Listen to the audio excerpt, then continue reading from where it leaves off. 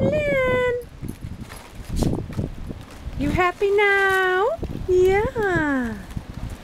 Happy, Jess. Where you going? Oh, you want one side?